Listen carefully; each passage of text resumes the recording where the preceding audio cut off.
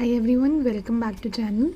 We are discussing CSIR NET June 2019 paper. We are on part C and um, we are on question number 76.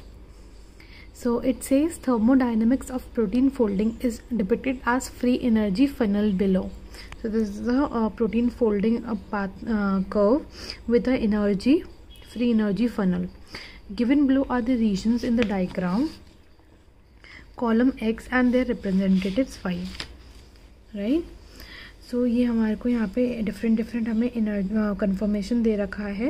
And यहाँ पे हम लोग को match करना है विद द एनर्जी ठीक है तो सबसे पहले देखते हैं यहाँ पे आप पहले देखिए ग्राफ में ये बताया हुआ है कि एनर्जी यहाँ पे इंक्रीज़ हो रही है यहाँ पे प्रोटीन प्रोटीन का कॉन्फर्मेशन है।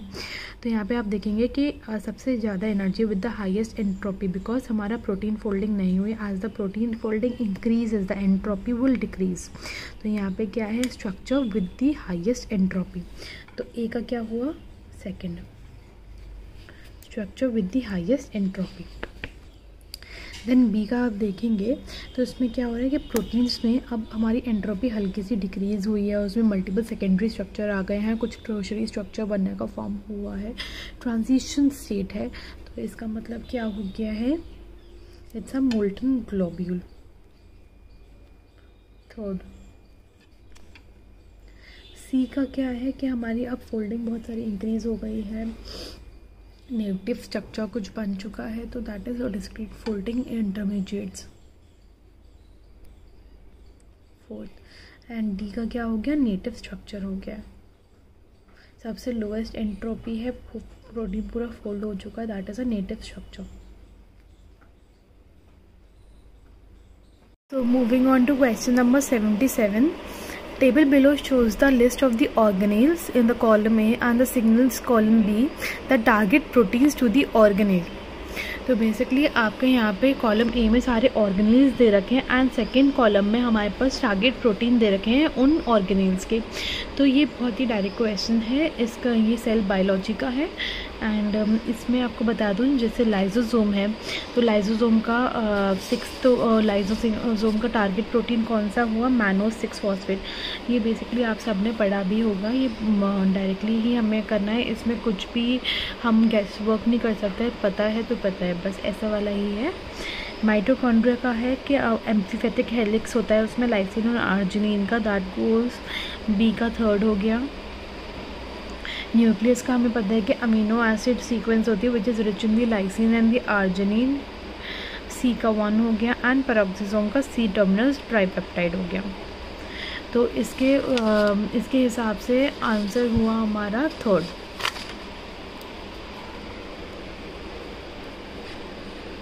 ए का फोर्थ बी का थर्ड सी का वन डी का second moving on to question number seventy eight following statements are made about the chromatin remodeling in human cells तो बेसिकली हमें फाइंड आउट करना है इसमें कौन सा स्टेटमेंट गलत है, कौन सा सही है।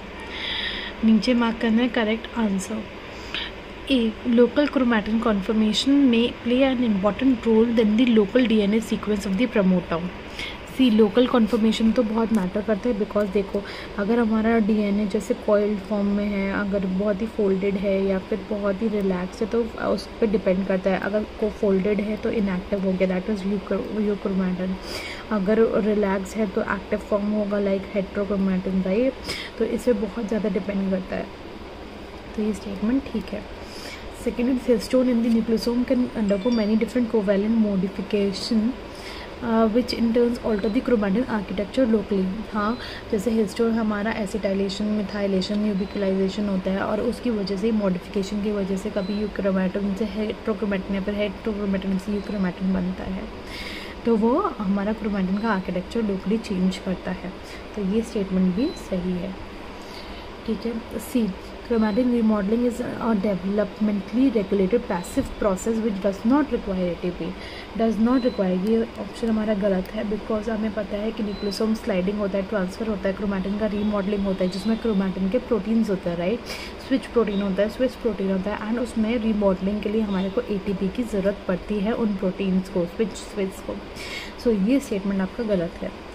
And D several histone variant exit which replace the standard histones in the specific type of the chromatin हाँ several histone variants होते हैं like H2AZ, H3.1, H3.3 तो बहुत सारे होते हैं एंड uh, हमारा स्टैंडर्ड होता है H4 जो उसको रिप्लेस भी करता है तो हमारा ये स्टेटमेंट भी सही है सो करेक्ट आंसर है three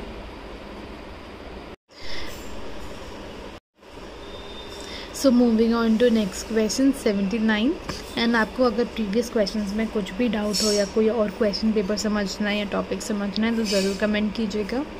In an experiment the student has infected mammalian host cells with the cytoplasmic R N A virus the virus growth was monitored by measuring the intracellular virus D R N A at different time interval it was observe that viral R N A titer progressively went down with time particularly twelve hours post infection Following are the few possibility which can explain the observation तो हमें correct answer basically correct statement find out करने हैं तीन तीन के option से the pale option says the virus infection triggered up regulation of the miRNA that triggered have down regulated the host factor critical for the uh, viral RNA replication तो इसमें basically ये बताना चाह रहा है कि RNA जो M I R N A जो है उसका अप रेगुलेशन हो गया होगा जो कि बेसिकली बाउंड करता है हमारा आर एन ए से and which further leads to the degradation of the infected virus R N A तो जिसकी वजह से हमारा डाउन रेगुलेशन हो सकता है, उसका production M I R N A bounce to R N and leads to the degradation of the virus R N A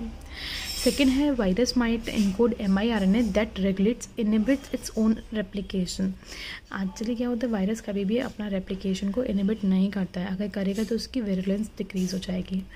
तो कभी भी अपना रेप्लीकेशन नहीं करता है, वो इनिबिट तो this option is incorrect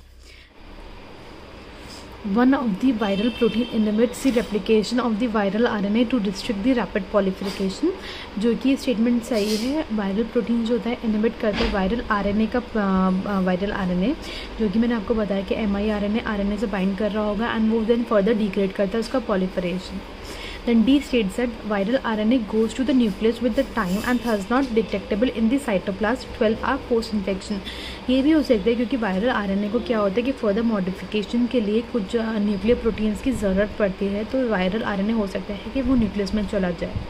तो इस प्रोसेस से ये पता चलता है कि हमारा बी स्टेटमेंट रॉन्ग है and A C D are correct second option is correct